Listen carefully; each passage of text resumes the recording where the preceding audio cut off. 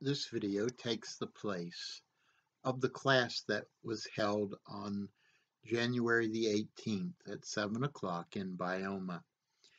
That's the Bible Institute of the Macon area. I'm Kevin Lucas, the director of Bioma and the teacher of the class. The class is Cults, World Religions, the Occult, compared with the Word of God. We're beginning this class and all are welcome. Anyone who wants to attend, it happens on Thursday at 7 o'clock. This is the first lesson, and we will cover the material as we open up our class. Again, this class is replacing the one that was not able to re be recorded because of a technical difficulty. The name of the class is uh, Cults and world religions and also the occult. And we are going to be studying each one of these and comparing them with the Word of God. Let me begin by um, giving you some orientation as to some of the resources that are available for the class. Anything that you need for the class, including um, all of our papers and syllabi, are found at Bioma on the website, which is www.maconvictory.org and go to the resources page and go to Bioma Notes and you will find all of the uh, information plus much, much more on the Bioma website. And so you're certainly welcome to download. They're all in PDF form and all of that is available for you. Among the things that you'll find there is a paper called The Mystery of the Trinity. One of the things that we'll be dealing with is an area that is oftentimes disputed among the Jehovah's Witnesses and other cultic groups, and that is basically the Trinity of the Lord Jesus Christ um, and God the Father and God the Holy Spirit. Now, another thing that is always in dispute when it comes to the uh, cults is the deity of the Lord Jesus Christ. And so, another paper that you will find there on the uh, Bioma website is also our paper on testimonies to the deity of the Lord Jesus Christ. The explicit and implicit uh, testimonies that Jesus Christ was, in fact, who he said he was and we invite you to download that in a PDF form. Also, you'll find on the website the syllabus for this particular course, which is um, for world religions, cults, and the occult. And it gives our outline and projected um, information for the class. It tells you about the textbook and um, also some contact information for me and other things like that. So you're welcome to all of this. It is all on our website. Again, that is www.macon.org, maconvictory.org, and you're certainly welcome to all of the material and uh, several um, other publications that you'll find there, including several books that I have written to help you with your study of the Word of God. Again, all of this is free. We do take love offerings, um, but there is no charge for this. All right, let's begin our look today at the introduction to cults, the occult, and world religions. This will be the study that we will be engaged upon for the next 18 to 20 weeks. And again, a lot of this will depend on um, whether we are able to accomplish everything that we need to accomplish, and also according to the class um, desire, if the class desires to go into something in more depth.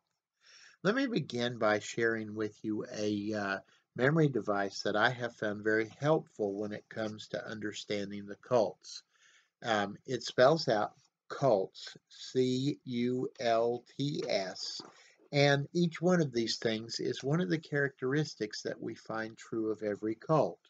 First of all, every cult either denies, that is, like the Jehovah's Witnesses, denying, diminishing, or the Roman Catholic Church places Mary at the same level as Christ, and so therefore um, that is a, a, diminishing of the deity of Christ or redefining, like the Mormon church does, in saying that, yes, well, Christ was God, just like you are God. And again, all of those things are contrary to the original teaching of the scripture. Secondly, cults have an ultimate authority in something else than the Bible. Whether we're talking about the uh, Science and Health and Key to the Scripture by Mary Baker, Baker, Baker Glover Patterson Eddy, or we're talking about uh, the Book of Mormon or um, the New World Translation. All of these things are contrary to the Scripture. All of these uh, organizations were led or founded by some dynamic apostate every one of them are totally exclusive. That means that only the people who are in these groups are the ones who are saved.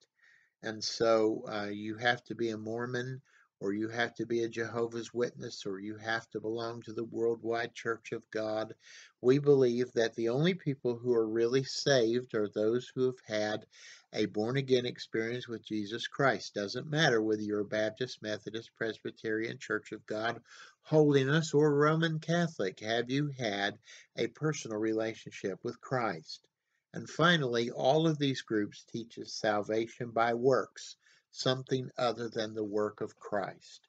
They all think that they either do something or add something to the salvation that was given by the Lord Jesus Christ.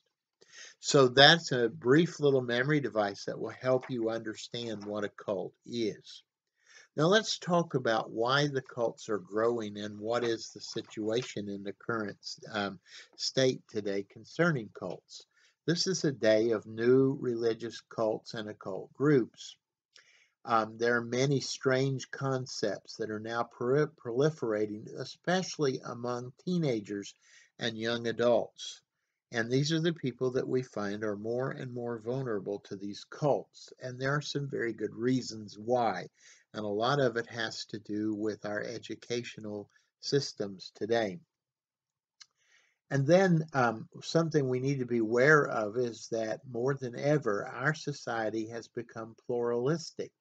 Christianity is no longer a consensus religion, but rather is simply another option in the whole cafeteria of religious choices. In other words, what I'm saying today is that there are many people who treat religion like going to the S&S cafeteria. They'll pick a little of this and they'll pick a little of that and they'll pick a little of something else and combine it together. And so this is why there is an atmosphere today where cults and the occult, with its emphasis on um, trying to um, uh, reach a supernatural state on by some uh, by some esoteric method, uh, have become so popular in the time in which we live. Christianity is no longer considered mainstream or even acceptable among a lot of the people. In fact, many people are calling this the post Christian era. I disagree with that. I, I believe we're in what we would call the return of the pre Christian era. We're going back to what the paganism and hedonism was at the time of uh, the apostles and prophets and such like that. And this is the time in which God has called us to be witnesses and workers. And so, this is some of the reasons why the cults are starting to um, move in, and some of the reasons why we ought to study the cults. Let's look a little closer at why there is such a dramatic growth in the non Christian religions, the cults, and the occult. And I think the first thing that we can clearly say is that um, we are living in a time in which there is a bankruptcy of materialistic values for our society. Everything today is based upon material things and um, even humanism, uh, which focuses on the, the natural and that which is here and now. The fact is, however, we were created with a spiritual component, and that spiritual component desires to have spiritual contact. There's a part of us that is not happy unless it has a spiritual, um, unless it has a spiritual contact. And so this is one thing that the cults are offering. They're offering a contact with the spiritual part of man. I believe that they're offering the wrong type of contact, but I do believe that they are offering a contact. Secondly, our culture has turned from a factual to an experiential orientation, largely as a result of the educational movement of the West today. People are trying to find meaning through emotional and mystical experiences because they've been taught that there are no absolutes. Hence, they turn from Christianity, which is based and anchored in absolutes and based on the whole idea of there being such thing as um, factual um, statements. And so they move to the more esoteric offerings of the world religions, the cults, and the occult. Something else that has been very helpful in bringing about the conditions for the cults is the fact that in spite of the uh, electronic revolution, which has connected people more than ever before, there is a desperate sense of loneliness that has occurred within um, the world. People are more um, connected by all sorts of devices and gadgets and gizmos, but more isolated and lonely than they ever have been in their life. And one thing the world cults and religions are very good at is providing networking so that uh, people may be able to uh, not feel so lonely and be so isolated. One thing we can learn from the cults is their care for their people. Others in our culture are attracted to charismatic authority figures of the world religions, cults, and occult. Often these figures promise by following them that your circumstances can be changed and that you can rise above your personal circumstance and find a better destiny. Because of the worldliness and perverseness of the human heart, many are being drawn into the exotic ideas and lifestyles offered by the various world religions and cults. And so we have a deadly mix in our world today. Now, we're being told today that there is no such thing as being right or being wrong, but yet we find that the people who say that there is no such thing as right and wrong say that what we teach, that is, there is right and wrong, is wrong. How can that be? We should never forget that the mastermind behind each of these cults and world religions and the occult is that one that would seek to blind the minds of those who would believe the gospel of Christ, that is, the devil. Um, there is only one way that man can solve a geometry problem, an algebraic equation or a chemical analysis, or even, for that matter, a spiritual truth. And yet the devil, who has tried to blind our mind, has convinced us in the West that all roads lead to God. Now, if we applied this logic to geometry, to algebra, or chemistry, we would not find the correct answer. In fact, we would end up killing ourselves. We need to understand today that there is, like a, ge uh, a geometry project, there's only one right answer, and there are 359 degrees of being wrong. These occult practices today may come very close to the truth. They may be very far from the truth. But we need to understand today that there is only one truth, and that truth is the gospel found in Jesus Christ. Now, if that is true, that there is the gospel found in Christ and it is the answer to our problems, why has the church failed to reach people?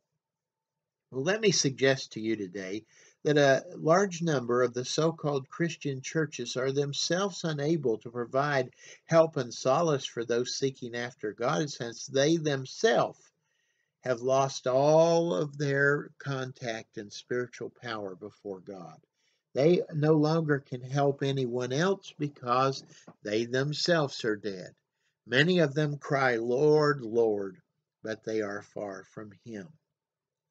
Even among those churches that do possess true spiritual life, there has been a growing tendency to replace the life giving relationship with Christ with an external religiosity that deadens the church and make it unable to assist those who are truly seeking life from God.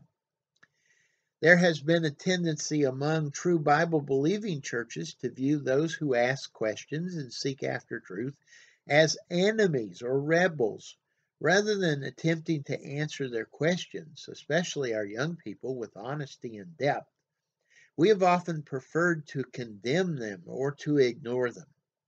Because we are so shallow in our own faith and understanding, we have begun to seem afraid of those who ask us why we believe what we believe.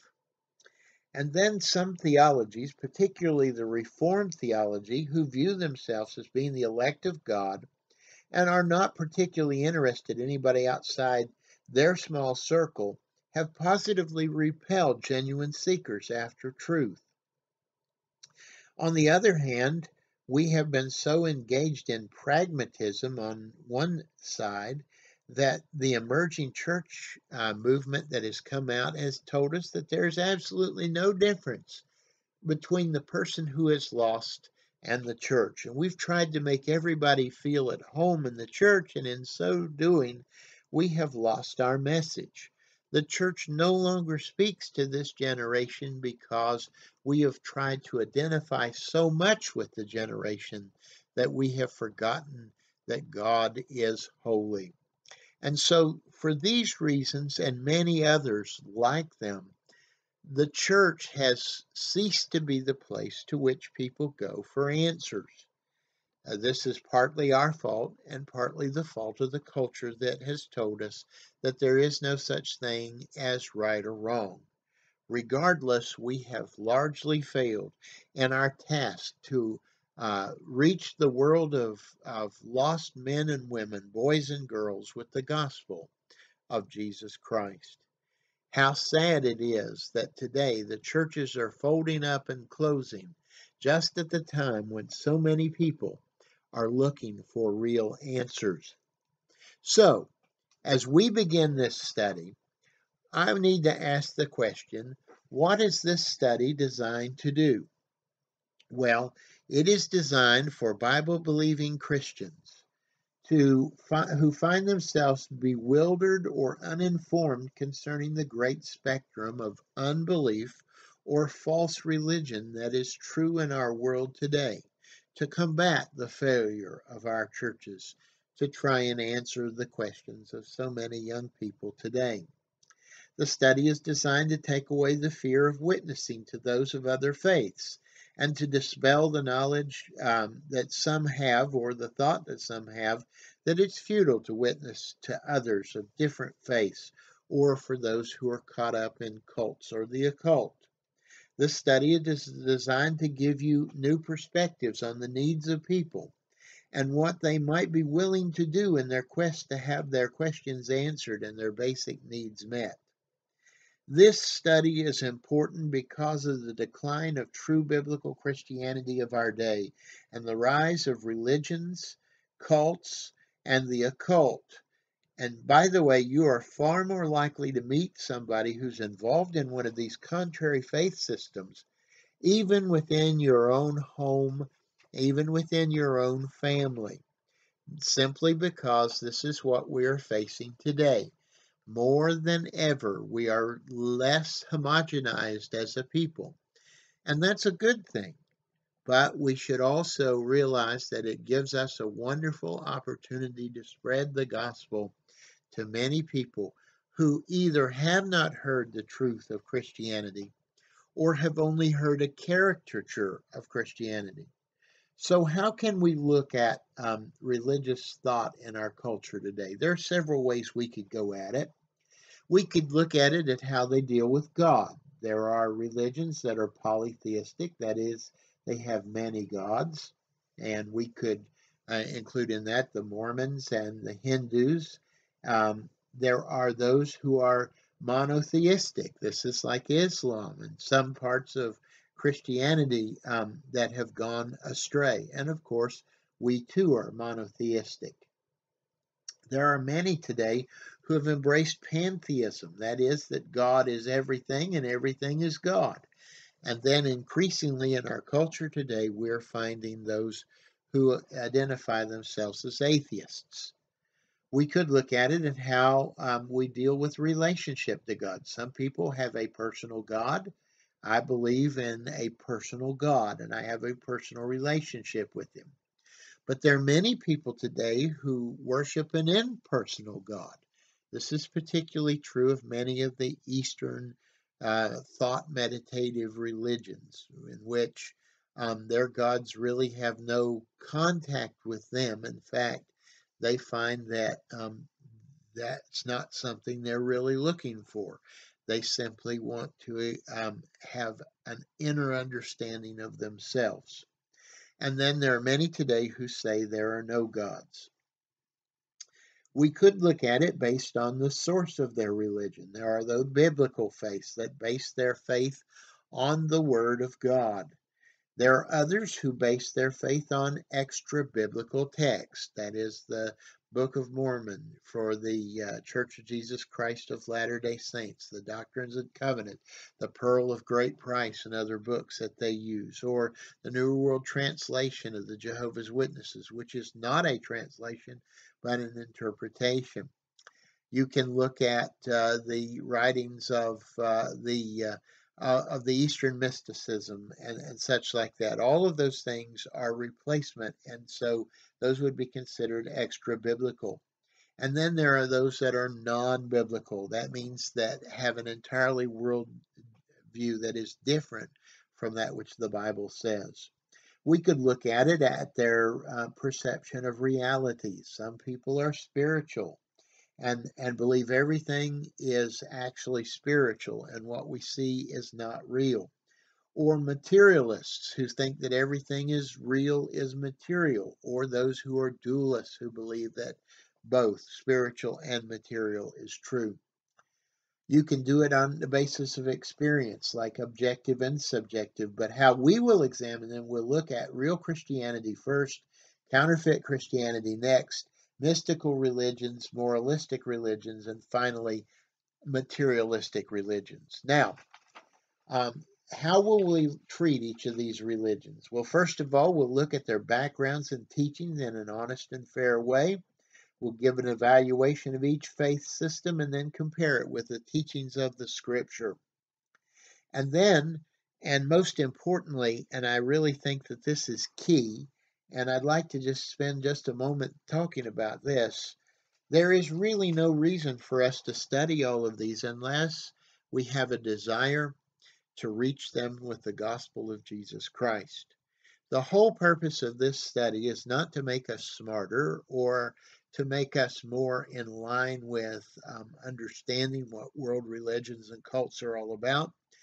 Our whole goal is to try and reach these people with the gospel of Christ. You say, why do we need to reach them with the gospel of Christ? Well, the Bible teaches us that all have sinned and come short of the glory of God. We have all gone out of the way and we have gone astray from God Almighty. And the wages of sin is death. They may deny it, they may not agree with it, may not believe it, but the, that doesn't change the reality nonetheless. The soul that sinneth it shall die. The Bible says the wages of sin is death, but the gift of God is eternal life through Jesus Christ our Lord. And so we take the glorious gospel that Jesus paid for our salvation on the cross of Calvary out to a lost and dying world. Now, in order to do that, we need to know what these people believe in order to reach them and to uh, overcome the hurdles and obstacles that they would place in the way of our witnessing. And so, once again, just sort of to recap this, we'll look at the backgrounds of all of their teaching. We'll look at the history of them. Um, we'll use the original sources to do that. Then we'll evaluate them and compare them with the scripture. And finally, we'll talk about how we can win these people to the Lord Jesus Christ and how we can share the gospel with them because it is our responsibility to share the gospel of Christ with everybody we come in contact. And so it is our prayer that this will be a fruitful study. Now, the next thing that we want to consider, if we would please, is the whole idea of uh, the guiding principles for our study. Uh, and there are really basically four of them. We're going to try and keep our analysis very simple. These cults can really get complex. And um, literally, I could spend months talking about the Jehovah's Witnesses. I could spend months talking about the Mormons. I could spend months talking about the Unity School of Christianity. I can talk about Islam or Roman Catholicism or any of the other groups that we're going to be dealing in this study. But the truth of the matter is that um, uh, the, the more in depth we go, the more confusing it gets. So I will take a very simple view. I will give you the basic facts. I will keep our analysis organized for every one of the cults that we will deal with and world religions we will deal with. I'll give you a fact sheet that will help you understand it in a glance so that you can um, be organized to use this in the future because what good is having this information if you cannot put it to use? We will keep the analysis brief. That means we will not give you all that there is to understand about all of these cults. Um, but we will be selective in what we give that will be able to help you get a complete picture and be able to completely be able to witness to them uh, when they where they need it most. And then we'll try and seek to keep our analysis practical.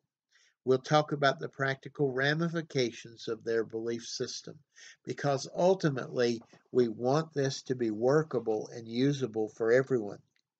Now that brings us to the main thing that we want to look at today and that is simply a passage of scripture from 1 Peter chapter 3 and verse 15.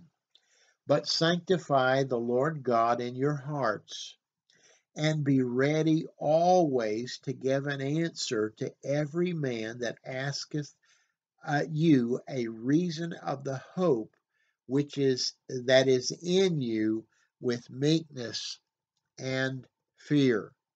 This is sort of our um, key principle that we're going to be using and coming back to all again and again. This is sort of the foundational verse for apologetics. Now, the word apologetics doesn't mean we're being sorry about something. The word answer there in the scripture is the Greek word apologia uh, or apologia. And it simply means to give a formal answer, for example, in a lawsuit or in a trial. And so the idea here is that we want to be able to give an answer. And in order to give that answer to uh, the lost people and to our own people so that we can understand what they believe, we need to handle this very carefully. So I'd like to break this verse down into its constituent parts and look at them for just a moment. First of all, let's consider the words, but sanctify the Lord uh, God in your hearts. There are several things that arise when we look at this. First of all, we should come to the place to realize that before we can witness to another person, we must be sure that we have submitted our own life to the Lord Jesus Christ as Lord and as Savior. The Lord must be free to rule in our own heart before we can help others. Our spiritual status must be settled once and for all, and should be settled once and for all, if we are to give an answer for the hope that lieth in us. But we need to understand that we need to constantly and daily submit ourselves to Him so that we can be in the position to help others. Now, the second thing that arises out of this as we sanctify the Lord in our heart is that we should, if we do that, we should expect that God will work through us. Today, we need to make it very clear that our confidence is in God and not ourselves. I cannot change the mind of anyone. That is God's business. But if you pray and if you prepare, it will amaze you how many opportunities God will provide you. God is in the business of providing opportunities for those who are willing to prepare. Now, this is a spiritual battle, and it is not just a battle of knowledge or clever argumentation. In our church, this year's church wide theme is putting on the whole armor of God, and it fits very nicely in this thought.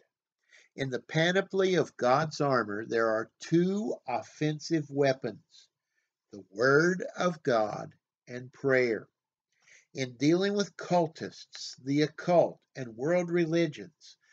Both need to be handled with practice, careful practice, and with care. This course will help to prepare you to do so. To be truly effective, we must search out any unloving and disobedient attitudes and confess them to God so that we can be used effectively.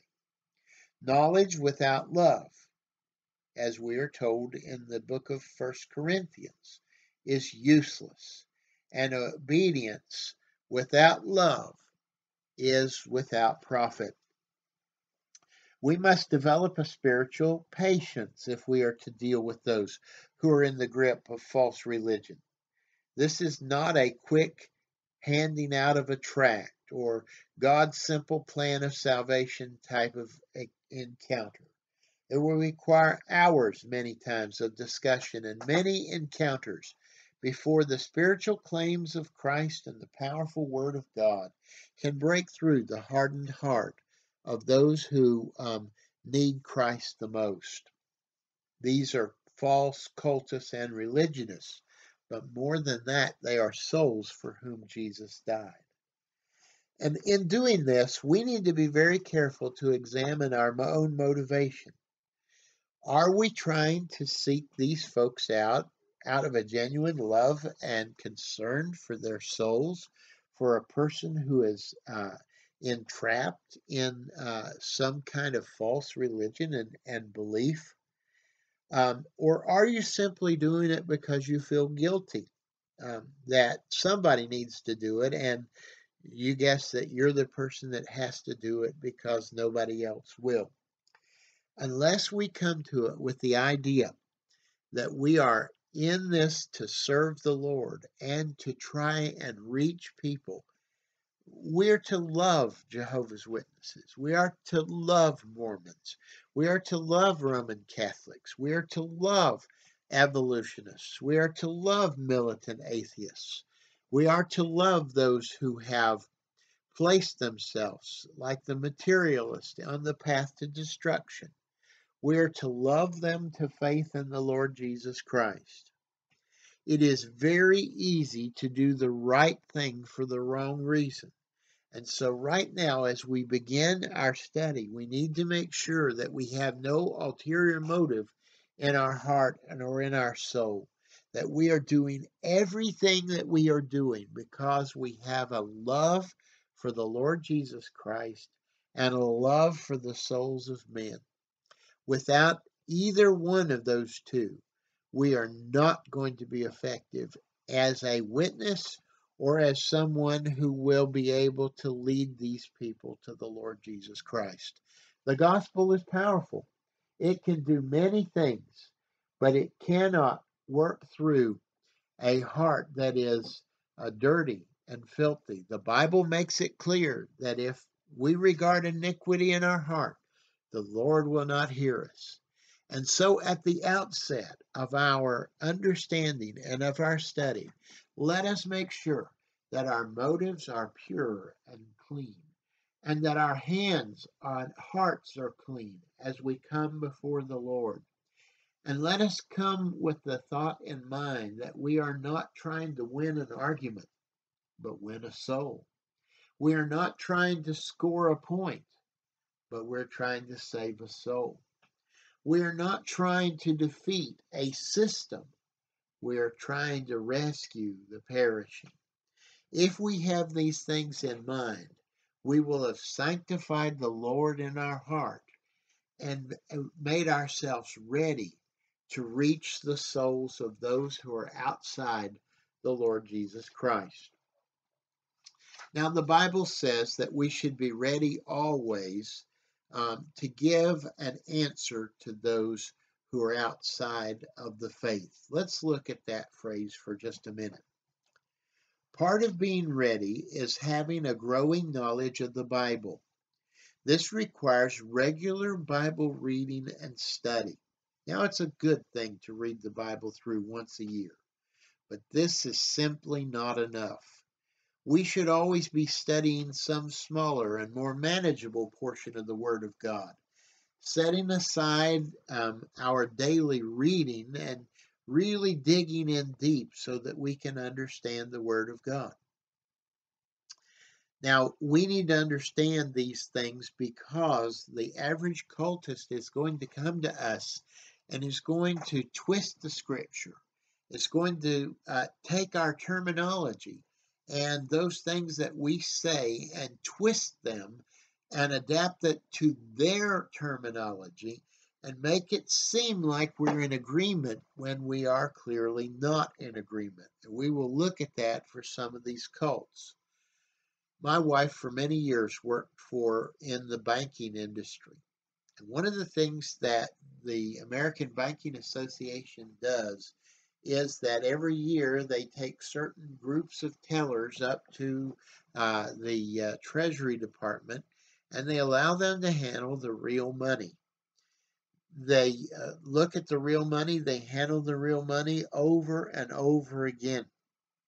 The reason for this is they want them to be so thoroughly versed in the real money that when counterfeit money comes across their desk, they can be very much aware of it.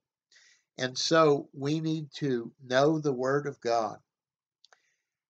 I think the average Christian makes a terrible mistake in thinking that they cannot witness to a Mormon or Jehovah's Witness or a Roman Catholic or an atheist evolutionist or even a Satanist.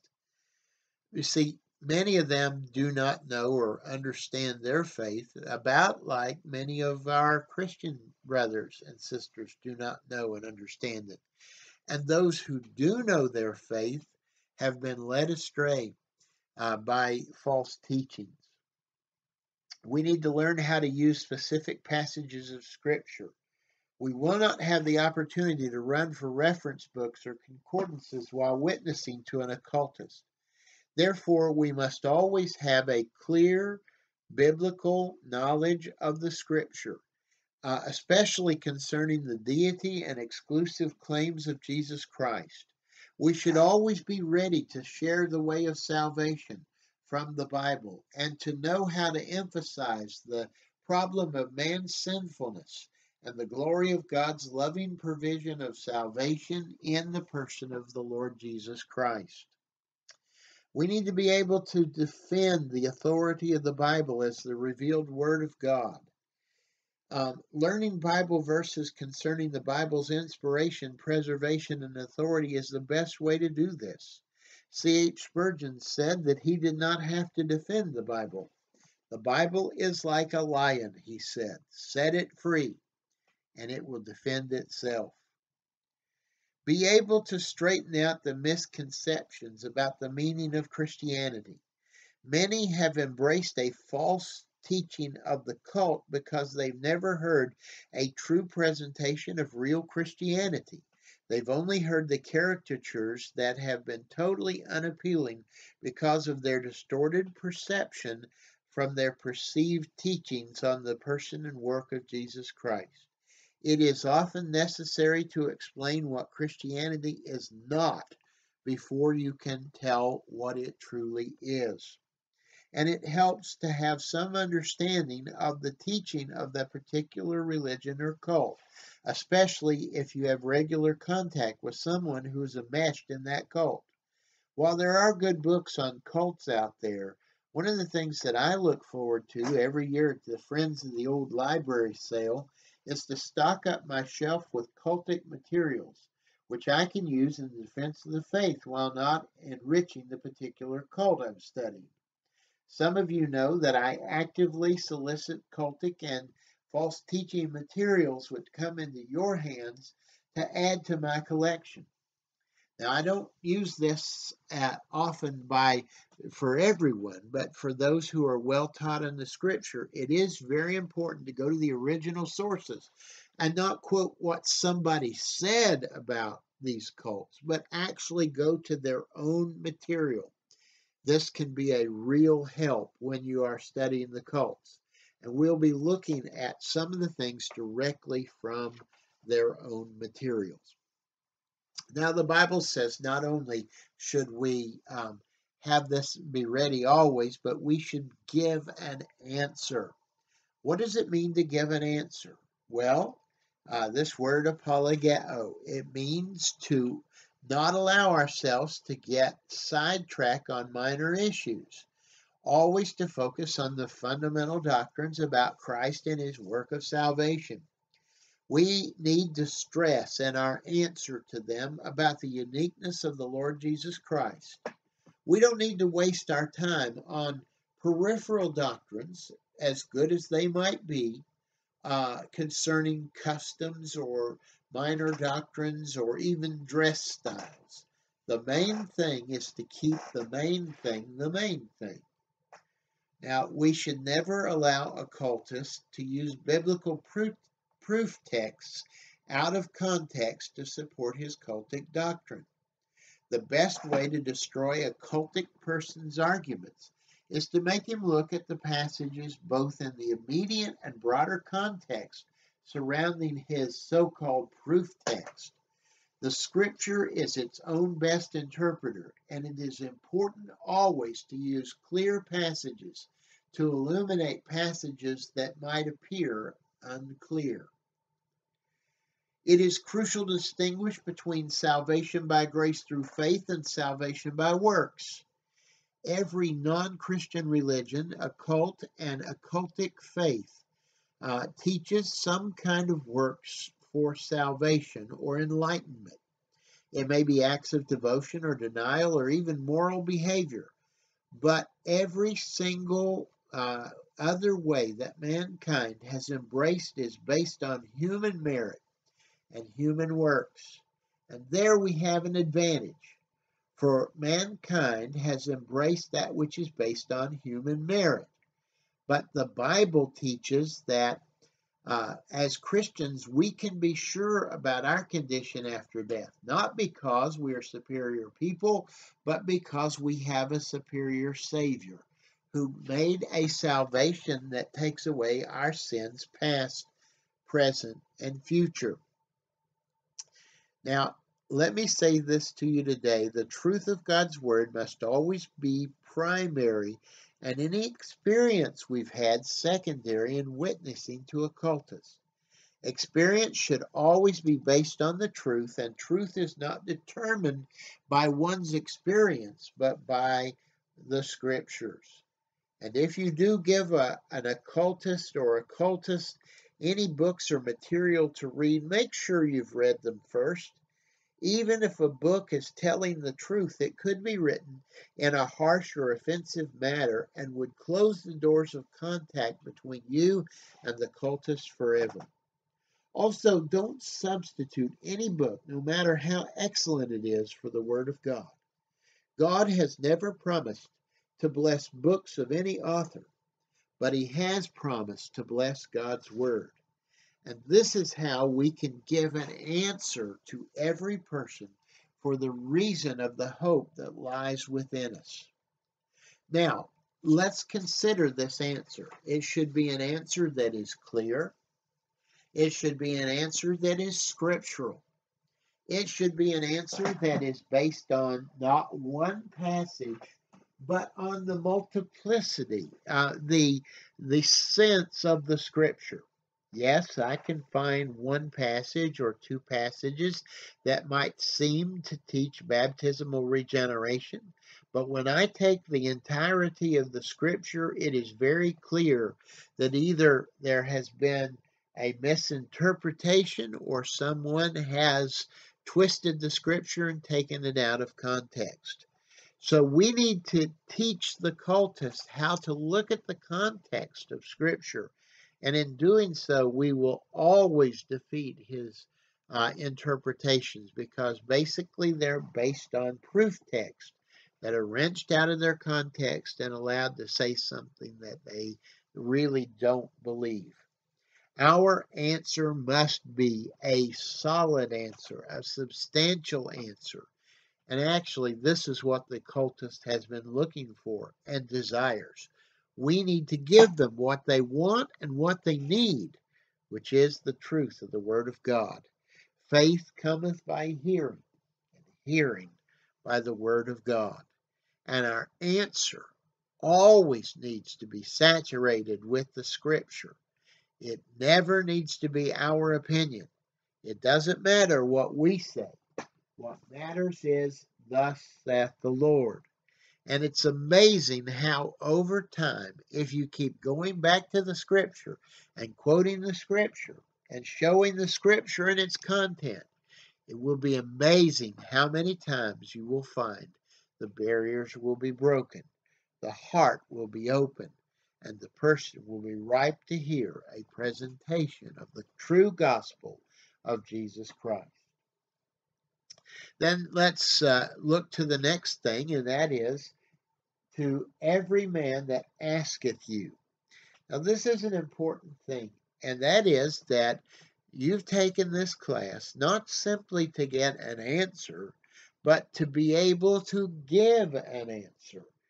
And in order to give an answer, we need to be praying for opportunities in which uh, people will ask us for our uh, faith in the Lord Jesus Christ. I have made it a practice over the years that when a cultist knocks on my door, I do not close the door in their face. I am not mean to them. I attempt to establish a conversation with them and to share with them the gospel of the Lord Jesus Christ. Of course, many times they comes they come in pairs. And this makes it very difficult because once you start dealing with the younger of the two, generally that is the person that is being trained, the older person realizes that you're getting close to uh, the truth and they begin to move the gospel uh, conversation away or to take it away um, from this person. So it's really important, if we can, to visit people one on one. One of the things that's really important in having a gospel conversation with somebody immersed in cults is the ability to ask good questions. For example, a cultist will come to your door and say, Well, we believe the same that you do. We believe that Jesus was the Son of God. And then we go back and say, we need to ask the question, well, exactly what do you mean by the Son of God? Well, our interpretation is that he is the uh, Michael, Michael the Archangel, who was the first created being. And as a result, he, of course, is a child of God. Now, the Bible clearly teaches that Jesus Christ pre existed from the foundation of the world and did not begin at Bethlehem. And so it is really important to listen to them and to ask good questions so that we may fully communicate to them the gospel of the Lord Jesus Christ. When we talk to them about hell and they reject hell, we need to ask them what the scripture means then when it talks about hell. And of course, they will come up with their answers. And again, we need to go back and probe as to why they say what they say. But it's very important to hear and to listen when you talk to a cultist. Now, then, let's move to the next one a reason for the hope that is in you. I want to say to you that the Apostle Paul always used a method that is very powerful. He began by sharing his own testimony. Now, people may argue and disagree with your theology, but they cannot disagree with the transformation of your life. I was once a sinner, but I came to trust in the Lord Jesus Christ as my personal Savior. My life was full of despair and destruction. Misery was in my way, And I found myself constantly in trouble as a young boy. Then one day I met the Lord Jesus Christ and he changed me completely. I was on my way to be a dropout. I was on my way to be a person who was uh, uh, disregarded and disliked and unloved by everyone around because I was a smart aleck know it all.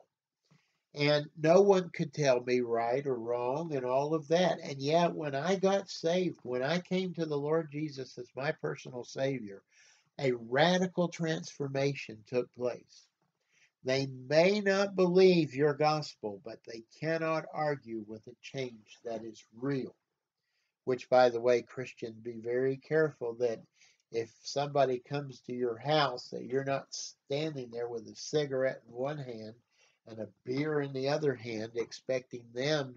Uh, you say Jesus saves and satisfies when you're not uh, satisfied with what Christ has to offer, and you turn to something like that.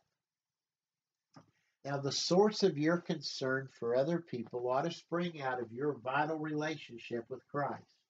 You know, when I got married, I couldn't help but tell everybody about my wife because she was so wonderful and still is. We've been married 30 years now, and I am every day a very thankful man that I have married such a woman.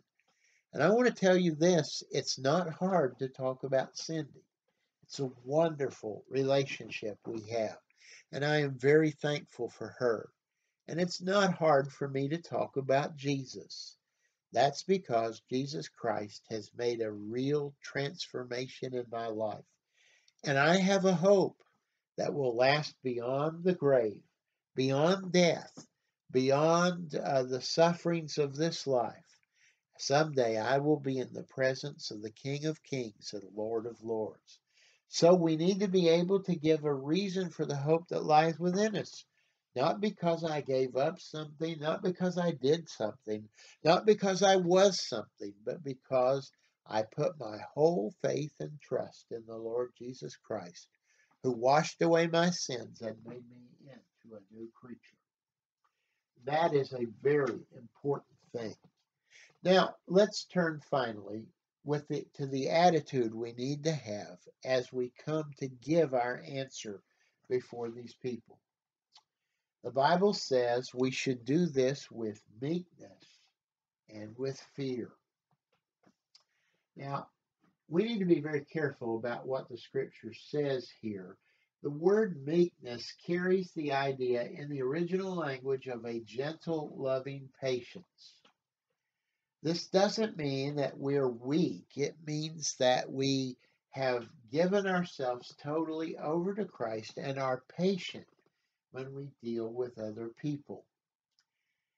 It dishonors God if we come to somebody in an unloving or a harsh manner. And I've heard many times uh, in my own neighborhood people yelling at Jehovah's Witnesses or Mormons as they go door to door. I have been yelled at myself as I've witnessed for my faith in the Lord Jesus Christ. And I want to tell you that's not a pleasant experience.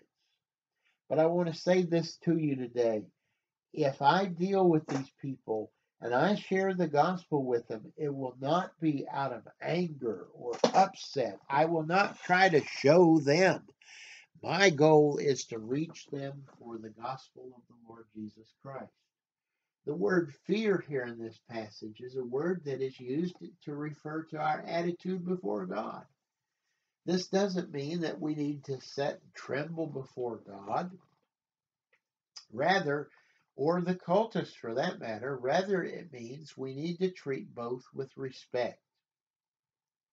Remember that even a Satanist was created in the image of God, and the atheist that opposes Christianity is a person for whom Christ died.